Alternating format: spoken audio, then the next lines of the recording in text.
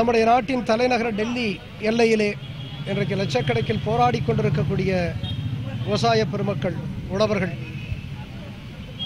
அவர்களுக்கு ஆதரவாக இன்றைக்கு மக்கள் பாதை அந்த அமைப்பினுடைய இளைஞர்கள் கன்னியாகுமரியிலிருந்து சென்னை வரை இருநூறு கிலோமீட்டருக்கு மேலாக தொடர் மிதிவண்டி அந்த பயணத்தை மேற்கொண்டு அந்த விழிப்புணர்வு பரப்பரையும் மேற்கொண்டு வந்திருக்கிறார்கள். எனவே இன்றைக்கு அவர்களை வரவேற்கின்ற விதமாக அதை போல இந்த விவசாய விவசாய பெருமக்களினுடைய போராட்டத்திற்கு ஆதரவு தெரிவிக்கின்ற வகையிலும் இன்றைக்கு இந்த நிகழ்வு நடத்தப்படுகிறது. நம்மை பொறுத்த வரைக்கும் குறிப்பாக மக்கள் பாதை இயக்கத்தை பொறுத்த வரைக்கும் இந்த நாட்டிலோ அல்லது தமிழ்நாட்டில் பாதிக்கப்படக்கூடிய வெகு மக்கள் குறிப்பாக விவசாயிகள் உழைக்கக்கூடிய மக்கள் இவர்களுக்கு ஆதரவாக நாம் நின்று தொடர்ந்து குரல் எழுப்புவோம் என்பதை நான் தெரிவித்துக் கொள்கிறேன். இந்த சட்டம் வந்து எந்த பாதிப்பும் ஏற்படுத்தாமல்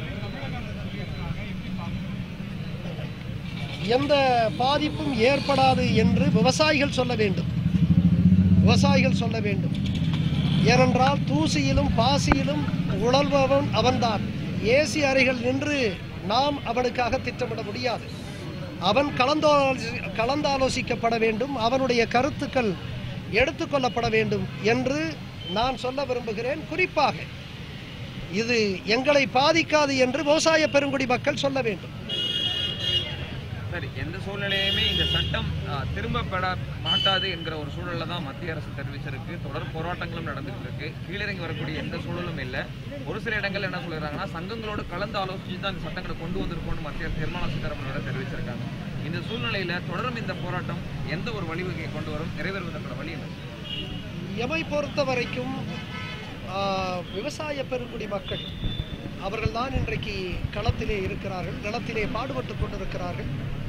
இந்த நாட்டினுடைய மக்கள் தொகையில் ஐம்பத்தி ஆறு சதவீதம் அவர்கள்தான் இருக்கிறார்கள் பதினேழு சதவீதம் ஜிடிபி அவர்கள் அளிக்கிறார்கள். எனவே அவர்களுடைய கருத்துக்கள் எடுத்துக்கொள்ளப்பட வேண்டும் சட்டங்கள் இயற்றுவதற்கு முன்பாக அவர்களுடைய கருத்துக்கள் எல்லாம் எடுத்துக்கொ எடுத்துக்கொள்ளப்பட்டிருக்க வேண்டும். அப்படி எடுத்துக்கொண்டதாக நான் அறிய முடியவில்லை எங்களை பொறுத்த வரைக்கும் விவசாயிகளுடைய போராட்டம் வெல்ல வேண்டும். அவர்கள் விடியலை சந்திக்க வேண்டும் என்று நாங்கள் ஆசைப்படுறோம் நீதி மாநில அரசுகள் விவசாயிகளுக்கு எதிராக செயல்படுதுன்றது சட்டம் விவசாயிகள் இன்றைக்கு அப்படித்தான் நிலைப்பாடு எடுத்திருக்கிறார்கள் இப்ப மக்கள் பணின்னு சொல்லி இன்று மேடையில் பேசியிருக்கிறீங்க அது தேர்தல் மக்கள் பணியா அல்லது இந்த மாதிரியான சங்கம் சார்ந்த கூட்டணியா நான் பல நேரங்களிலே குறிப்பிட்டிருக்கிறேன் நான் அரசு பணியிலே இருந்தபோதும் சரி அரசு பணியை விட்டு விலகிய காலகட்டத்தில் தொடர்ந்து என்னை கேட்கிறார்கள். நான் அரசு பணியிலிருந்து விலகியதற்கான காரணம் மிக தெளிவு. உண்மையான நேர்மையோடு எளிய மக்களுக்காக நிலைப்பாடு எடுப்பவர்கள் அங்கே நிற்க முடியாது என்று நான் பல நேரங்களில். என்னை பொறுத்த வரைக்கும் நான் ஏற்கனவே அறிவியல் நகரத்திலே ஏழு ஆண்டு காலம் ஒரு அதிகாரமும் இல்லாமல் அந்த அலுவலகத்தினுடைய வாசற்படியை தாண்டினார் ஒரு சூப்பர் டைம் ஸ்கேல் அளவிலே இருக்கக்கூடிய ஒரு செயலர் நிலையில் இருக்கக்கூடிய ஒரு மூத்த ஐஏஎஸ் அலுவலர் தமிழகம் முழுவதும் அவருக்கு அதிகாரம் இருக்கிறது அந்த அதிகாரத்தை கொண்டு எந்த எளிய மக்களுக்காக பணியாற்ற நாங்கள் விரும்பினோமோ அந்த மக்களுக்கு பணியாற்ற முடியும். அப்படிப்பட்ட நிலை இல்லை. மாறாக என்னுடைய அதிகார வரம்பு என்னுடைய அலுவலகத்தினுடைய வாசற்படிக்குள்ளேயே முடங்கப்பட்டது. அதிகாரம் இல்லை. எனவே அதிகாரம் இல்லாத ஒரு பதவியில் நீடிப்பதை விட வெளியே வருவதுதான் சரியானதாக இருக்கும் என்று நான் வந்திருக்கிறேன் எனவே இன்றைக்கு நீங்கள் சொல்லக்கூடிய அந்த பணிகளெல்லாம் எம்முடைய இளைஞர்கள். அவர்கள் தொடர்ந்து என்னோடு நான்கு ஐந்து ஆண்டு காலம் என்னோடு பயணித்து வந்திருக்கிறார்கள். எனவே அவர்கள் மிகுந்த தீவிரமாக இந்த தமிழ் சமூகத்தை உளமாற நேசிக்கக்கூடியவர்கள். எனவே அவர்களோடு நான் கலந்து ஆலோசித்து நான் முடிவெடுக்க வேண்டும். சார் நீதித்துறை இந்த விஷயங்களில் தன்னுடைய நிலைப்பாடுகள் எடுக்கக்கூடிய முடிவுகள் சரியானதா இருக்குதுங்களா? ஏன்னா அது நீதித்துறை தான் நம்பியிருக்கக்கூடிய ஒரு சூழல்ல அதுக்கான நிலைப்பாடு இன்னும் முழுவா தெரியலையே. நீதித்துறை சரியான முடிவெடுக்க வேண்டும் முடிவெடுக்கும் என்று நாம் நம்புகிறோம். மக்கள் பாதை அரசியல் கட்சியாக மாறும் ஐயா? விரைவில். அதைத்தான் இப்பொழுது சற்று நேரத்துக்கு முன்பாக சொன்னேன். நம்முடைய இளைஞர்கள் அவர்கள் இந்த சமூகத்தை ஏதோ அரசியல் கட்சியாக இருந்தால் மற்ற கட்சிகளைப் போல நாமும் மாறுகிறோம் என்றால் உருவெடுக்கிறோம் என்றால் அதனால் எந்த பயனும் இல்லை. மாறாக எத்தகைய கொள்கைகளை கோட்பாடுகளை அடிப்படையாக வைத்து நாம் இந்த இயக்கத்தை கட்டமைக்க வேண்டும். நாம் இந்த சமூகத்திற்கு எதிர்காலம் இல்லை என்றே நம்புகிறேன் நான் இந்த இளைஞர்கள். இன்றைக்கு கோடிக்கணக்கான இளைஞர்கள் தமிழக இளைஞர்களுக்கு வேலைவாய்ப்பு இல்லை என்பதை நாம் உணர வேண்டும். இவர்களுக்கு எத்தகைய எதிர்காலத்தை நாம் உருவாக்கி கொடுக்க போகிறோம்? இயற்கை வளங்களெல்லாம் சூறையாடப்பட்ட ஒரு சூழல். எனவே இதையெல்லாம் கணக்கிலே கொண்டு இன்றைக்கு ஊழல் பிராபகம் எடுத்து இன்றைக்கு பெருகிக் கொண்டிருக்கக்கூடிய சூழலை நான் பார்த்து கொண்டிருக்கிறேன். நாம் அத்தனை பேரும் பார்த்திருக்கிறோம். உங்கள் அத்தனை பேருக்கும் தெரியும். எனவே இந்த சூழலில் நாம் ஏதோ மற்ற ஒரு அரசியல் இயக்கங்களைப் போல அப்படி உருவெடுத்து அப்படி உருக்கொடுப்பதற்கு நான் தயாராக இல்லை. எனவே லட்சியதாகம் கொண்ட லட்சிய வேட்கை கொண்ட எம்முடைய இளைஞர்களோடு நாம் ஆலோசித்து அவர்கள் எத்தகைய கோட்பாடுகளை அடிப்படையாக வைத்து இயக்கங்களை கட்டமைக்க வேண்டும் என்பதெல்லாம் நாம் முடிவெடுக்க வேண்டும். அவசரப்பட்டு நாம் செய்துவிட முடியாது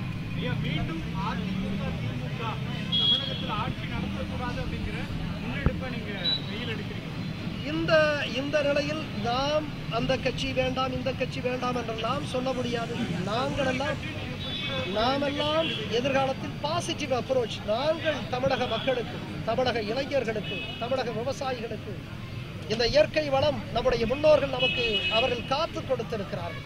அவர்கள் காத்து கொடுத்திருக்கிறார். ஒரு மலை நான் அந்த விசாரணையை மேற்கொண்ட பொழுது ஒரு மலை அதனுடைய வயதை மட்டும் நான் ஜியாலஜிக்கல் சர்வே ஆஃப் இந்தியாவினிடத்தில் பெற்றபோது அவர்கள் குறிப்பிட்டது இருநூறு கோடி ஆண்டு இருநூறு கோடி ஆண்டு ஒரு மலை நின்று நிலைத்தது. அது இருபதே ஆண்டுகளில் ஒன்றுமில்லாமல் ஆனது. அன்பிற்குரியவர்களே அப்படி நம்முடைய முன்னோர்கள் பல்லாயிரக்கணக்கான ஆண்டு காலம் காத்து கொடுத்த அந்த இயற்கை வளங்களை நம்முடைய பிள்ளைகளுக்கு எப்படிப்பட்ட ஒரு இயற்கை வளமான தமிழகத்தை நாம் கொடுக்க போகிறோம் என்று நீங்கள் அத்துணை பேரும் சிந்திக்க வேண்டும் என்று நான் கேட்டுக்கொள்கிறேன். நம்முடைய பிள்ளைகளுக்கான எதிர்காலம் ஒளிமயமான எதிர்காலமா? எனவே நாம் இவர்களை வேண்டாம் அவர்களை வேண்டாம் இவர்களை திட்டுவது அவர்களை திட்டுவது என்கின்ற அந்த கலாச்சாரத்திலிருந்து நாம் மாறுபட நாம் விரும்புகிறோம். நாங்கள் இந்த தமிழ் மக்களை தமிழ்நாட்டை உளமாற நேசிக்கிறோம். எங்களுக்கு சுயநலம் எல்முனையனமும் இல்லை. பணத்திற்காக பதவிக்காக ஆசைப்பட்டால் நான் அந்த அந்த உயர்ந்த இடத்தை மிக எளிதாக அடைந்திருக்க முடியும். இந்த மக்களை உளமாற நேசிக்கிறோம். எம்முடைய தமிழ் சமூகமும் உலக சமூகங்களுக்கு இணையாக ஒரு மேலான சமூகமாக உருவெடுக்க வேண்டும் என்று நாங்கள் ஆசைப்படுகிறோம். எனவே இந்த ஒரு இயக்கத்தை திட்டுவது அவர்கள் சரியில்லை என்று சொல்லுகின்ற அந்த கலாச்சாரத்திலிருந்து மாறுபட்டு எம்முடைய மக்களுக்கு பாசிட்டிவான அப்ரோச் என்கின்ற அடிப்படையிலே இதை எம்மால் செய்ய முடியும். இதை நாம் எல்லோரும் இணைந்து செய்வோம் என்கின்ற அடிப்படையிலே எல்லோரையுமே அழைக்கிறேன் ஊடகத்தினர் உட்பட. திருப்பி திருப்பி. மக்கள் பாதை வந்து திருப்பி திருப்பி. திருப்பி திருப்பி. திருப்பி திருப்பி. நாங்கள் இன்றைக்கு இன்றைக்கு இன்றைக்கு இந்த விவசாயிகள் விவசாயிகளுக்கான இந்த முன்னெடுப்பு இந்த விழிப்புணர்வெல்லாம் இந்த விழிப்புணர்வெல்லாம் வலிமையாக சென்று சேர வேண்டும் என்று ஆசைப்படுகிறோம். நீங்கள் அதை அதை எங்காவது அதை குறைத்து விடுவீர்களோ என்கின்ற அச்சம் இருக்கிறது. எனவே இந்த எண்ண ஓட்டத்தோடு நாங்கள் பயணிக்கிறோம். அதை காலமும் தமிழகமும் முடிவெடுக்கட்டும். மக்கள் முடிவெடுக்கட்டும்.